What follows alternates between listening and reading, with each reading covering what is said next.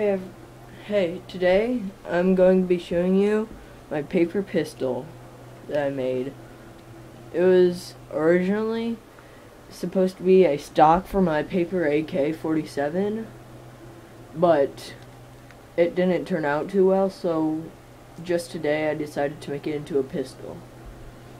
So originally, instead of having this thing, the handle, the guard, and the triangle sight on the end, it just had like a little bar right here that made it a stock where you could like put it against your shoulder and it would fire. Or yeah, it'd be like a stock sort of thing, so like that, okay? But it didn't turn out so well, so I was gonna throw it away or give it away. But I decided just to make it into a paper pistol.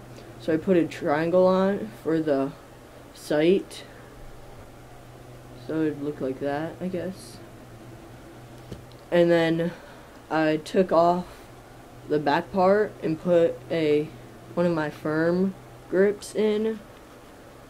And then and then I put a little trigger guard on it.